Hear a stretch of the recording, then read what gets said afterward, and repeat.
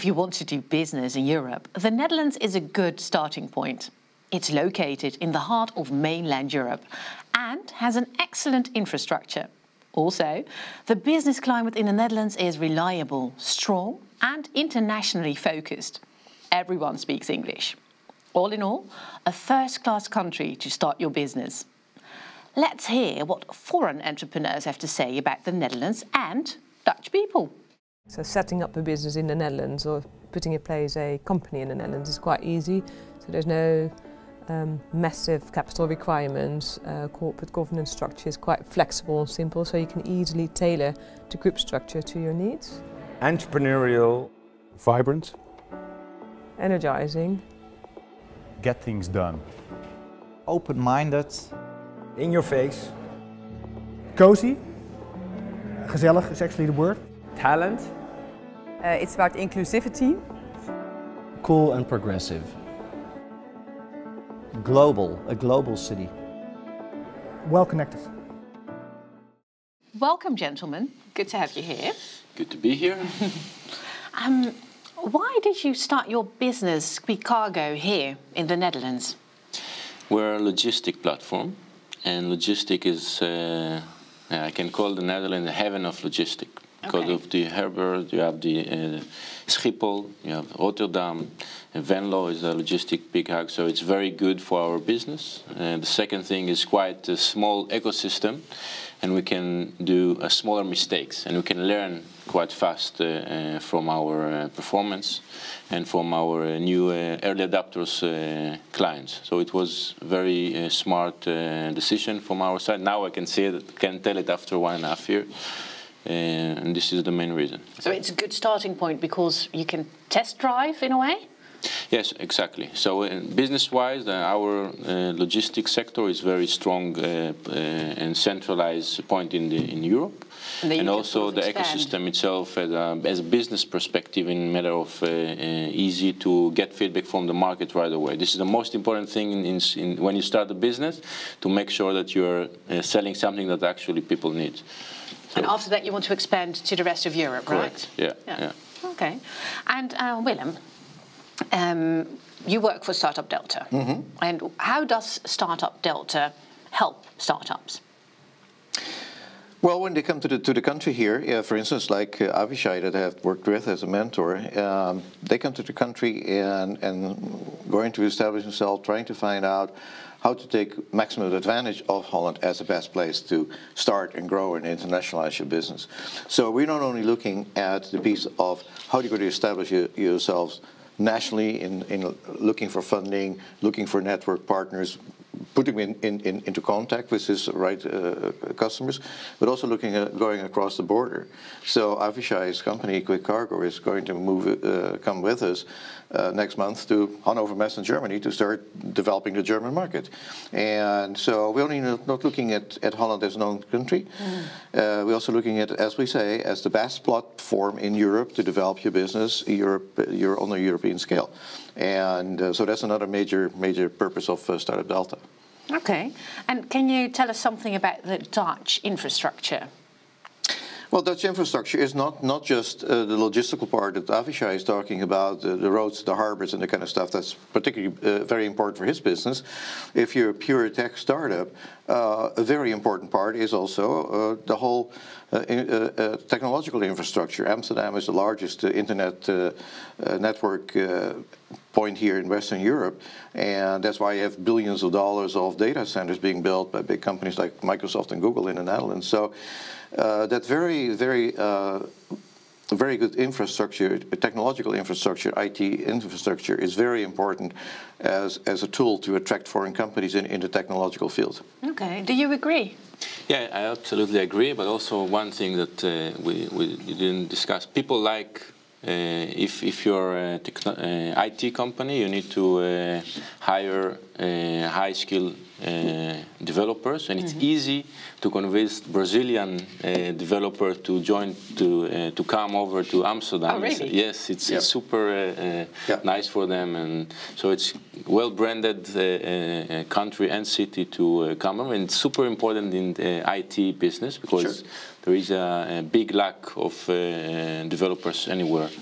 And that's that's a very important point. But it's true. It's, it's, I mean, it's, it's, it's, I see that uh, every day, and there's companies from all over the world coming to this country. Young people, they really are attracted by the quality of life in Holland, and Avishai is, is experiencing that not because they only speak Dutch. It's, it's, it's the whole mentality, the culture.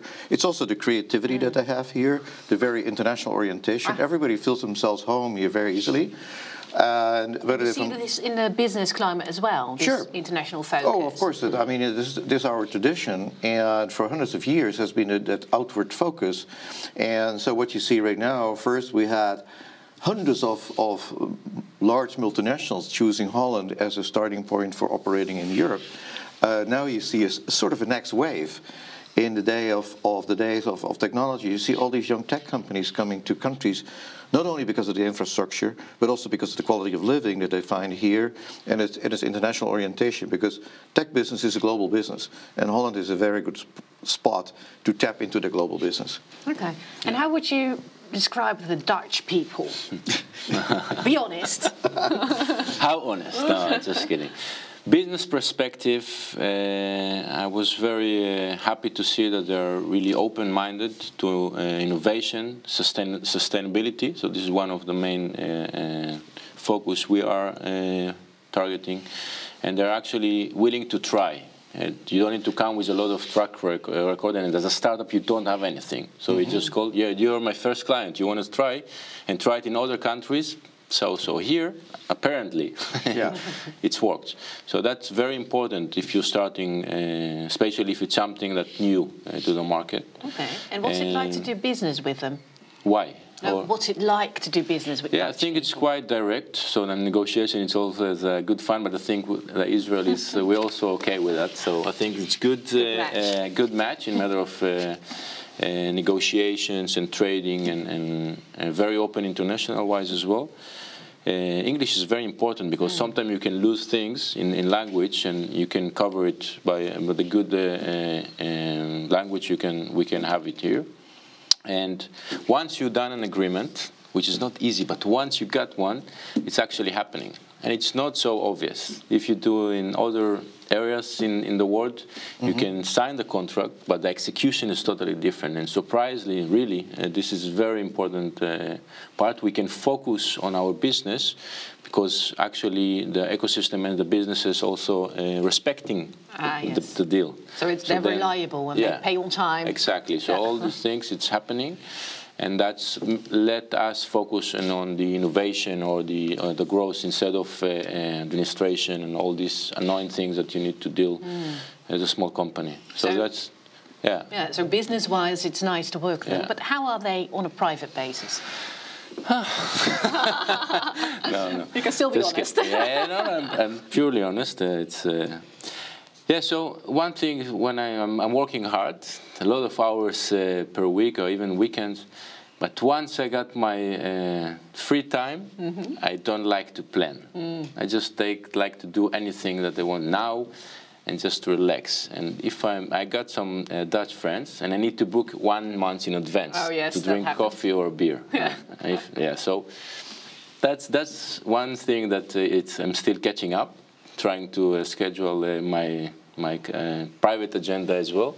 But yeah, instead of that, it's very open, and uh, I think I know Amsterdam, and for me, it's a very big uh, international community. So I have friends from all over the world. It's, it's quite easy, and I think it's not.